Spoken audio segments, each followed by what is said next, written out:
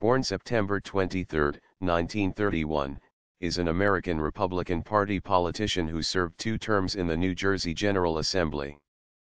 He is a graduate of Hamilton College and Harvard Law School, and served in the United States Navy Reserve. He was elected to the Assembly in 1967, running on a ticket with former Assemblyman Peter McDonough, they defeated former Assemblywoman Irene Griffin and Kenneth White. In the general election, McDonough and Pfaltz defeated Democrats George Purcell and Joseph Gannon by wide margins.